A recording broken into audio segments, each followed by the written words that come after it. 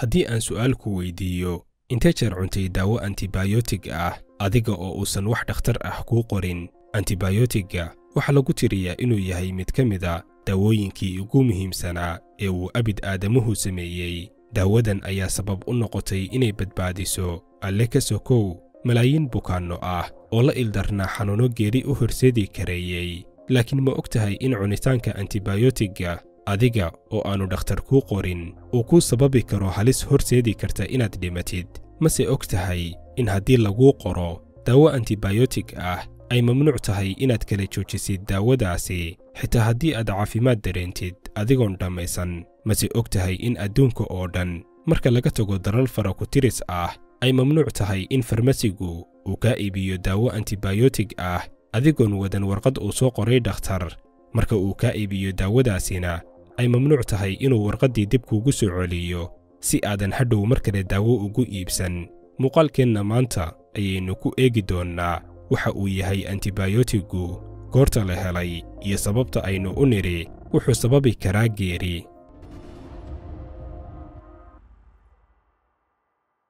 Intaynan u gelin muuqaalkeenna isku day inaad gaadhsiisid muuqaalkan asxaabtaada familkaaga iyo qof kasta oo aad jeceshahay muhiimna uu kuu yahay caafimaadkiisu si uu kula ogaado khatarta aynu ka hadli doonno ee ay leedahay daawada antibayotiggu sagaal iyo labaatankii bishii lixaad sannadkii kun sagaal boqol iyo sagaal iyo labaatankii ayuu saynisyahankii iskotlandeska ahaa ee la odhan jiray alexander fleming awood u yeeshay inuu helo ama ikhtiraaco daawadii antibayotigga ahayd ee ugu horraysay taariikhda daawadan oo ahayd daawada aynu u naqaanno bensaliinta ayaa sabab u noqotay inay tan iyo markii la ogaaday ay badbaadiso nolosha malaayiin dadyow ah oo ku kala nool daafaha adduunka. Alexander ayaa lahaa laab ama shaybaar uu ku samayn jiray tijaabooyinkiisa caafimaad waxaana dhacday inuu maalin xilli aroorye ah dib ugu soo noqday shaybaarkiisii. Laakiin alexander ayaa la kulmay arrin layaab ku noqotay kadib markii uu arkay in saxamadii uu bakteriyada ku beeray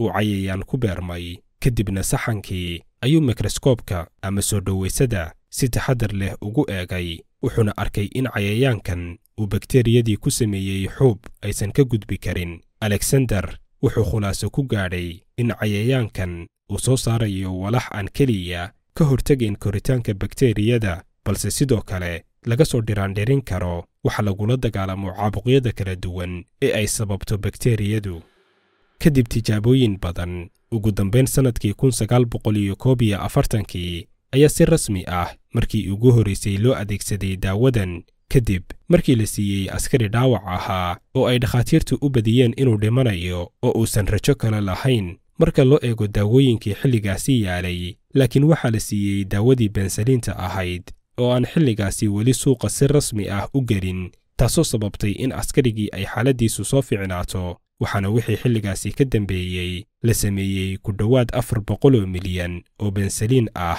Door weynna ka ciyaartay daaweynta dadkii ku waxyeeloobay dagaalkii labaad ee adduunka.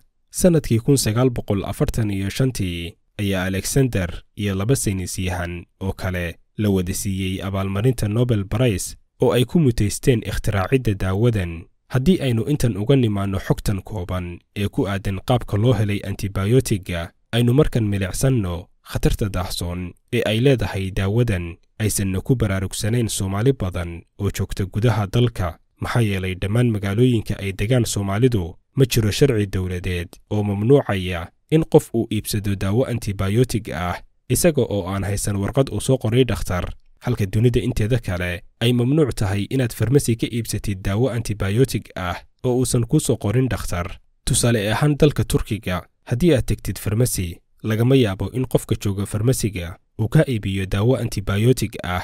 Xanuunka ku haya intuu rabo ha la ekaadee jawaabta uu ku siinayana waa inaad u keentid warqad dhakhtar. Haddii aad wadatid warqad uu soo qoray dhakhtar marka uu qofka jooga farmasiga ka iibiyo daawada wuxuu kaala harayaa warqaddii dhakhtarka oo dib kuuma siinayo. Si hadhow marka ay kaa dhammaato aadan mar labaad daawo kale ugu iibsan. Wuxuuna kaala harayaa warqadda dhakhtarka keliya haddii ay ku qoran tahay daawo antibayotig ah haddii uu intan samayn waayo oo uu siiyo qofka bukaanka ah daawo antibayotig ah wuxuu wejihi karayaa in dib loogala noqdo rukhsadda uu ku shaqaynayo iyo xitaa in jeelka la dhigaba.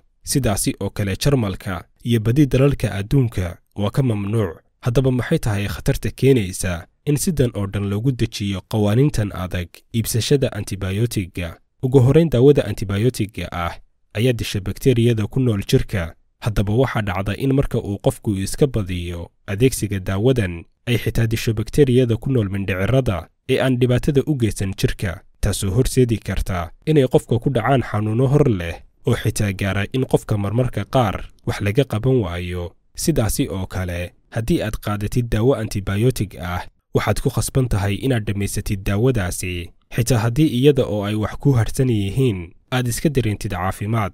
Maxaa yeelay in la kala jaro daawada antibayotigga ah. Waxay keentaa in iyada oo aysan weli si dhammaystiran u wada dilin bakteriyadii ay la dagaalamaysay. Aad kala jirtid daawadaasi kadibna bakteriyadii harsanayd ee ka badbaaday antibayotigga ay ku sii xoogaysato jirka. Sidoo kalena ay isdhalan rogto taasoo horseedaysa in isla antibayotiggan haddii aad muddo kadib isticmaashid uu waxba kaa tari waayo aadna u baahatid antibayotig ka xoog badan kii hore. Waxaa dhacda xilliyada qaar inuu qofku gaaro heer uu antibayotigguba wax ka tari waayo. Ugu dambaynna uu u dhinto bakteriyadan sannadkii labadii kun iyo afar iyo tobankii ayay hay'adda caafimaadka adduunka ee w h o daabacday xog aruurin ku saabsanayd khatarta ay sababto. Bakteriyadan ku xoogaysata jirka ee iska caabisa daawooyinka antibayotigga ah xogtan waxaa laga soo arooriyey ku dhowaad boqol iyo afar iyo toban dal waxaana lagu muujiyey in bakteriyada leh awoodda iska caabinta ee daawooyinka antibayotigu ay sababto dhimashada dad gaaraya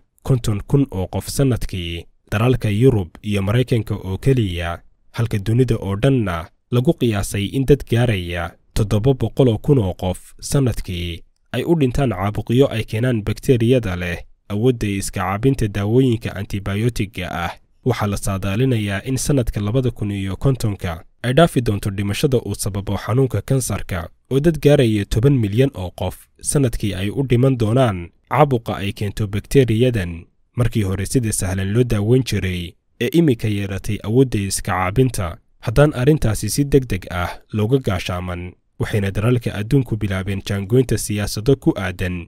Xakamaynta halistan sidaynu ku soo xusnay bilowga muuqaalka haddana sidaasi oo ay tahay dalalka dhaca afrika oo uu ugu horeeyo dalkeennu ayaysan dadkoodu weli ku baraarugsanayn khatartan. Qaybtood maba oga in daawada antibayotiggu ay sidan oo dhan u tahay dilaa haddii aan la xakamayn. Halka kuwo kalena ay ka tahay dhayalsi dowladda ayaa iyaduna gabtay hawsheedii oo ma jiraan qawaaniin adag oo lagu xakamaynayo qaabka sahlan ee ay dadku ku heli karaan daawada antibayotigga iyada oo ay kugu filan tahay in haddii aad joogtid dalka aad tegtid farmasiga kuugu dhow kadibna aad soo iibsatid waxaaba dhacda in daawo ka kooban ku dhowaad shan iyo toban xabbo oo hal baakad ku jirta looguna talagalay in qofku uu wada iibsado. Haddii uu u soo qoro dhakhtarku uusanna kala jarin. In tafaariikh loo iibiyo oo xabbad iyo laba xabbaba lagaa iibiyo. Guntii iyo gunaanadkii muuqaalkeenna waxaan idinkugu reebi doonaa komentiga ugu horreeya maqaallo laga diyaariyey aafada qarsoon ee ay leedahay daawadan.